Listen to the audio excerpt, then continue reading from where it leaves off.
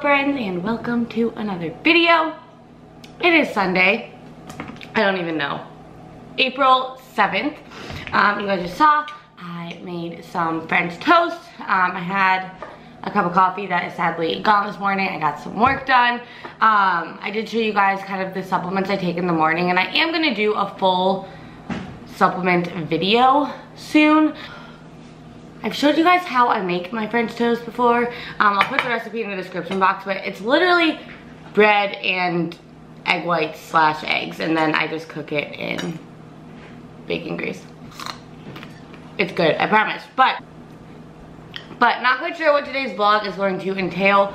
Um, I actually have a pretty busy day. I just have some work to catch up on. Um, I have a call with a client in like 30 minutes.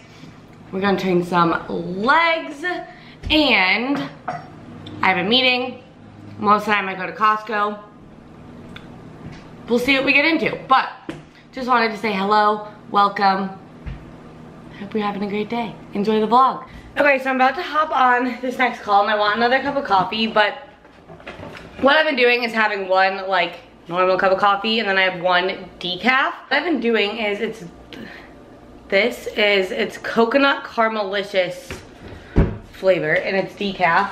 Um, so I do that and then in both my cups of coffee, um, I've just been using normal half and half and where is it? I can't even keep track of things in my own apartment. Um, and then I just put a little bit of stevia. So everyone always asks how I make my coffee. Um, this literally has like better macros than any of the like sugar-free creamers and stuff and it's not as sweet, which I actually like more. One tablespoon, it's 1.5 fat, one carb, one protein. So, I don't know, I don't measure it. Even when I was tracking, I didn't really measure coffee creamer. I just kind of like eyeballed it. And then, and that is how I make my coffee. But uh, my normal cup of coffee is just the like plain K-cup. So. Okay, we are outside the gym. I had a great call with my client. Um, and got check-ins done for the morning. I just have a couple on Sundays. I know my last vlog was a weekend vlog, but I have legs today. Just a little update. I was with my parents who came into town. They do not come to California very often, but they came out for like the first time since my show when they came for like a day and I didn't get to see them that much because I was competing, but um, it was so good to spend the time with them. I didn't want to vlog just because I did really want to spend time with them. But because they were here for a few days, um, I just am using today to like catch up on everything. So my god, hi Bay! Hi Bay, how was your workout? It was really good and really bad at the same time. we both have legs, but we didn't get to do them together. But we're gonna go Costco. Yeah. So we're gonna go to Costco. Oh, I can't see myself. Yeah. You have your free meal. Seriously, sorry. Yeah, we gotta figure out what we're gonna eat tonight.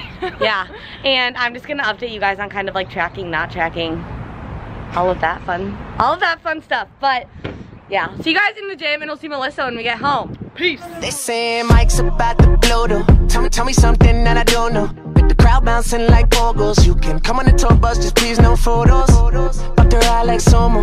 Cause we be going off on the off nights. Cause I've been on, I've been on. Every single song I put my pin on now. They don't know. Or maybe they starting to. Cause I work so hard that it's hard to lose. Top spot, I'm taking that face to face. Got a bottle in my hand, I'm facing that. Cause if winning is a habit, then I've been an addict. Every night it's cinematic. When you roll with us, and we won't live forever. But I will remember when I met you. I met you in the summer.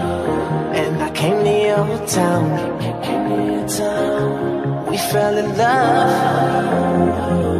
And we burned it to the ground. And, and we could be together, baby. But I gotta leave soon. I gotta leave soon. Everybody's listening now. But we got nothing to lose. When I met you in the summer.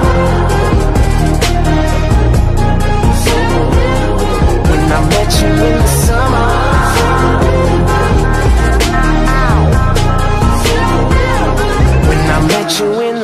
I Okay, so leg day is done. I'm currently like sitting super hot and sweaty in my car. But I did film it all for you guys, so hopefully you enjoyed that. Right now I'm outside eye tan because I am a new level of pale. Um, and I'm not gonna have time to get a spray tan anytime in the next couple days. So, my life has just been a spontaneous not mess, but just very spontaneous recently and, and just crazy. Like I've had a lot of guests and stuff in town that my parents were just here and I just got a call from my friend Jen. She's in LA right now and she's like, I'm just gonna come to San Diego for a couple days. Can I stay with you? And I was like, yeah, sure, man, lit. So she gets in tonight. She's gonna be staying with me for a couple days. Um, like I said, Melissa and I have to go to Costco. I have some work stuff I have to do.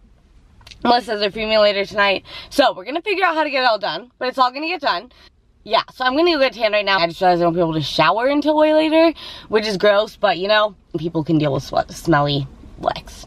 So that's what we're up to. We're gonna go eat, go to Costco, go to this meeting. I'll update you guys on my life and everything else at some point. We're home. I just made like the fastest meal ever. Um, I just have jasmine rice that I prepped last night and then a can of green beans because that's the only vegetables I have. I cooked it with egg whites for protein and then a whole egg on top and some guac. Oh, and there was also like half a cup of spinach that I had left. But I'm going to eat this in the car because it's time to go to Costco. We've been saying we were gonna do this for like a week and we really, really need to go. So um, I'm just gonna kind of take you with me show you what we get probably while we're there. It'll just be more fun um, than me like sitting down and showing you when we get back. And then we have a busy rest of the day. So let's just freaking go. We have entered the wonderful land of Costco. I Honestly, like I have no hair. And I just look like I ate a mess. But it's fine, we are a mess. Um, so, we have a list. We've been coming to Costco like, I don't know what, like every other week? Yeah, pretty much just to stock up on like our staple things. So this isn't gonna be one of those hauls with like a million foods, but there's the things that we eat like every single day and you can get so much of a better deal here than anywhere else. So that's the game plan. Okay, first thing we're getting is this big, look how big this is. this big bag of spinach. We both like to mix it a lot of our meals and it goes bad pretty fast because we both use it. It works. So Thing number one.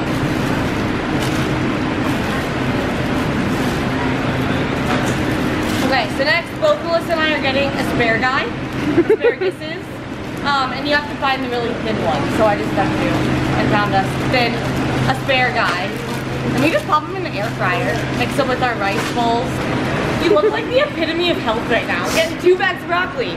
One for Melinda. One for me. You guys don't know the joke I'm talking about, shrooms. Refer to my Instagram. We like the white organic shrooms. We go through these like crazy things. These will be gone in like three days. So. Yep. This might be the most important item of the whole haul. With cream. organic eggs. Honestly, organic tastes 10 times better than like regular eggs and I was unaware of that for a while. Um, so we're getting these. We're getting one of these. We have some already.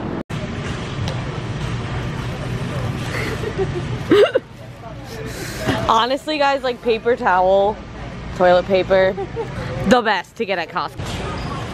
This is what we really came for. Must be stocked at all times. Caffeine on deck you guys have not hit up Costco, it's the organic almond butter. It like literally just organic roasted almonds is the only ingredient, but it is so good. You can attest that, right, Melissa? It is oh like yeah, the best. Much butter. better than any other almond butter we have had. It reigns supreme to all almond butter. Yes. Done so. Done. Cool. Hey guys, so this is everything.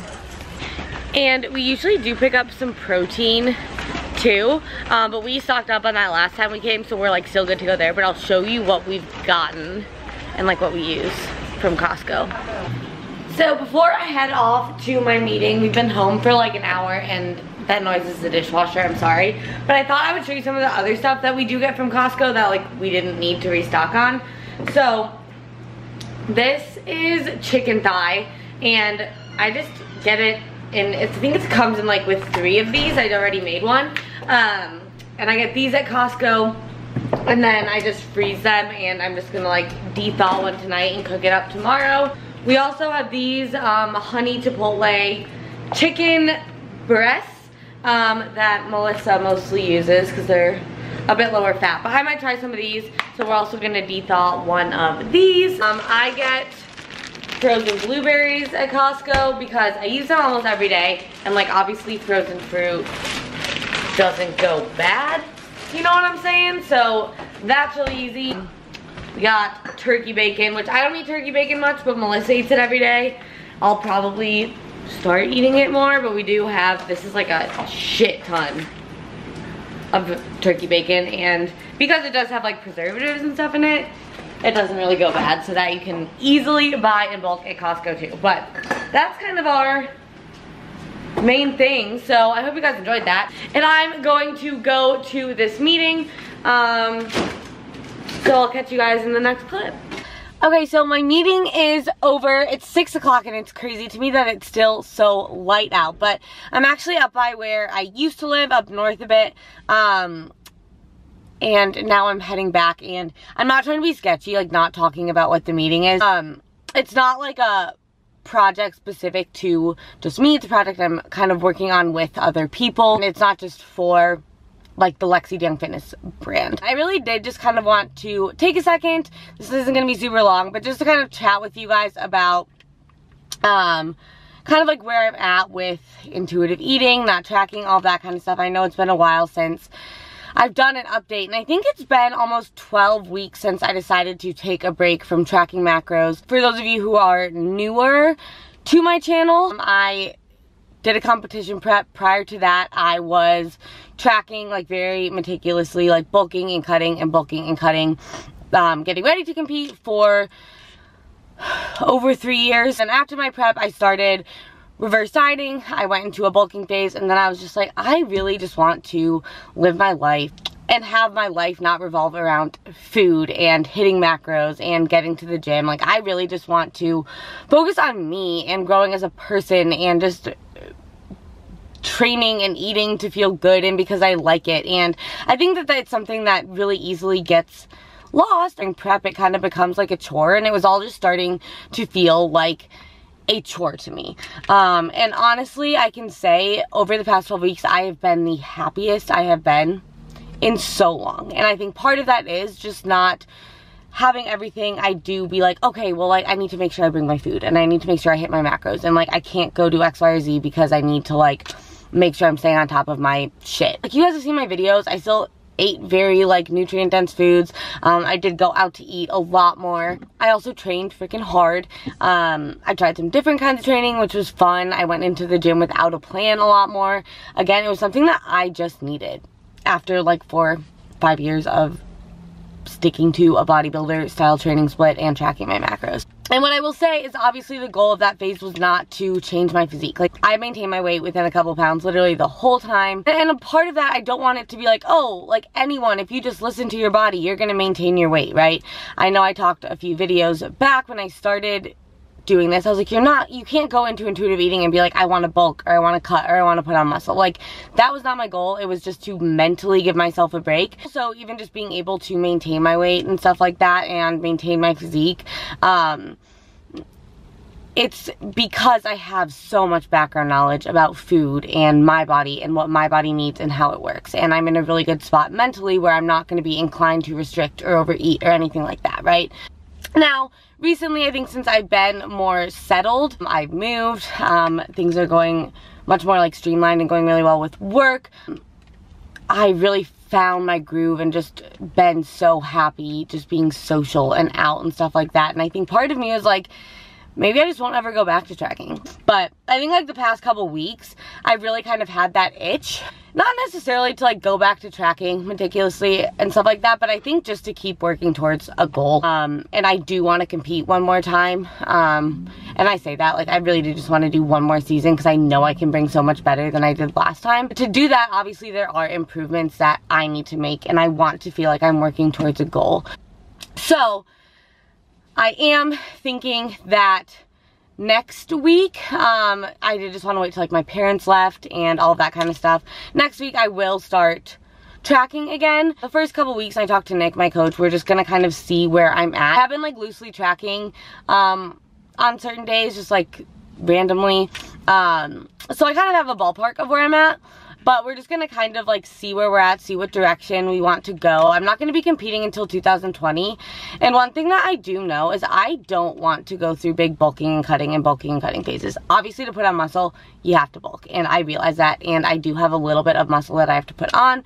Um, but not a ton and I have a long time to do it. So what I've kind of decided and realized through this phase is that I don't want macros to run my life. So if that means like loosely tracking, taking taking weekends off of tracking, I think I've certainly realized that like I don't need to be as like meticulous as I was like in terms of planning all my food out the night before and whatever. Like I've been doing this for five years so I can kind of like do it more on the fly and just like be more chill about it mentally. I think that that's kind of one big thing that I've learned and hey, if I get back into tracking and I'm like I was so much happier not tracking, then I'm not going to. Like, I'm not holding myself to, like, I need to compete again or, like, I need to track or whatever. Like, I'm just doing this because, like, I'm kind of in that spot where, like, I'm hungry to improve again. And I think I've improved in so many ways, just, like, forced me to, like, step out of, like, my little bubble in so many ways. And that's not something I'm gonna forget, right? And I think it's also just a good reminder, or it has been for me, that, like, our bodies are freaking smart. And, like, a lot of people are scared to stop. Um, but it's really not scary. Like it's just basic human nature and obviously a lot of us are programmed kind of by society and like what we hear about food or like the things we've told ourselves over and over again. But when you let go of that, like it's really not that hard to not track macros. Or I'm kind of going to feel it out. Um, just kind of get back in the swing of tracking and stuff again because I already know it's going to be really weird. Like I'm going to be forgetting to weigh stuff out and whatever. But, um, yeah, so that's kind of that. Um, I know a lot of people have asked me if I'm going to compete again, so that's kind of my answer for now. Like, yes, I want to, but it's not something that I want to control my life, and that's something that I did talk about when I said that I decided to stop tracking. Like, for me, it's it still rings very true that, like, I don't think competing in and of itself is super fulfilling for me. It's not. Um, I want to do it again just because I'm very competitive and I have something I want to prove, not to anyone else, but to myself, but it's not something I'm going to revolve my life around or let my social life, my personal life, just like my relationship with food or exercise or anything suffer for. But I think also when I was tracking last time, I had a lot of just like stress on my plate. Like I was a very stressed out human being. Um, and part of what was stressing out was tracking and stuff. So I just don't want that to stress me out anymore. Um, and I think I'll definitely like take some breaks here and there. I probably will like take a couple days a week off of tracking or something like that. Anyways, um, I'm excited to take you guys on that journey with me, but I'm definitely not tracking this weekend. My parents were here. I was just enjoying myself. Um, we're going to get Melissa's free meal later tonight. Obviously, like, I don't have, like, free meals. Um, but I've been going once a week and kind of getting, like, a ball-out meal with her. So, I'm gonna go home. Gonna do that. Jen's here is super long. I said quick, but it's been, like, 10 minutes. So, see you guys on the flip side. Okay, so we are back from meeting. We are about to go get Mexican food. And guess who's here? Ah, I can't even see that. I'm so blind. She forgot her contacts. I picked up Jen on the way back from Carlsbad, where my meeting was, and now we're gonna all get some Mexican food. Time for tacos and margaritas.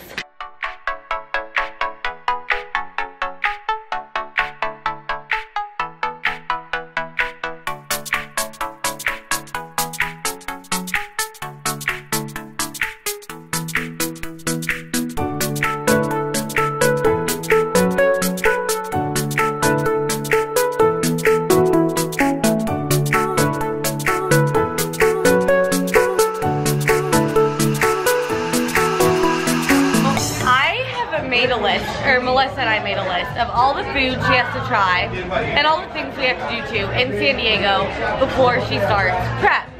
Um, so one of the things that we have on the list is a California burrito, which is basically a burrito a carne asada burrito with french fries in it. Can you see the french fry falling out? it's right That there. is it. Here we go. Yeah, there he is. Right there. Get that french fry, girl. really good, but what color spicy is. Well, hello, dudes. This is a really weird angle. It's like just my face, but I just wanted to say I hope you guys enjoyed this vlog. It's the next day now.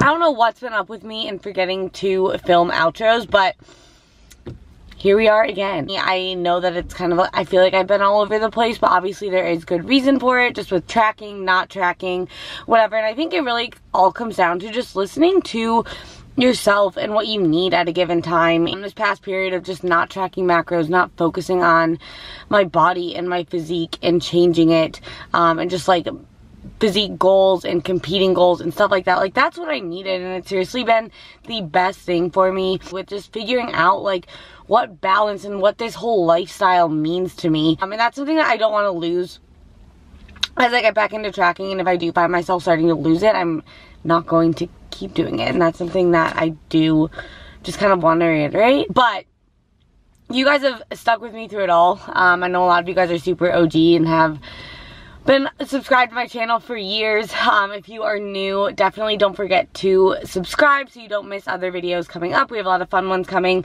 Um, but let me know what you guys want to see. Let me know what kind of videos you guys like. Um, comment, share, like, subscribe, all that fun stuff. And I'll see you guys in the next one.